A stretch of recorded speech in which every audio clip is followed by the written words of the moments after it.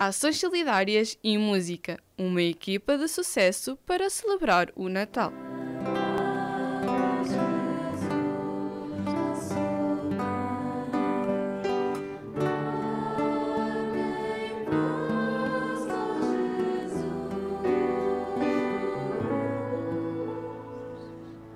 O coro da comunidade das Onze realizou no último domingo um animado concerto de Natal. O evento foi realizado no Salão São Tomás do Seminário Maior de Coimbra e todas as receitas destinam-se aos idosos mais carenciados e isolados.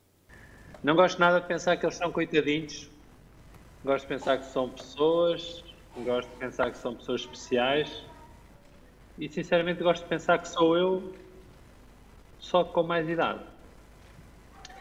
Também temos que dizer que nestes quase dois anos, neste tempo de pandemia, as pessoas de mais idade ainda estão mais isoladas. Uh, e às vezes até parece que são eles próprios que desistem do seu contributo. Uh, eu acho que nós temos alguns bons exemplos de pessoas que com alguma idade fazem a diferença. Além de canções tradicionais do Natal, o concerto teve em seu repertório músicas da autoria de membros do coro.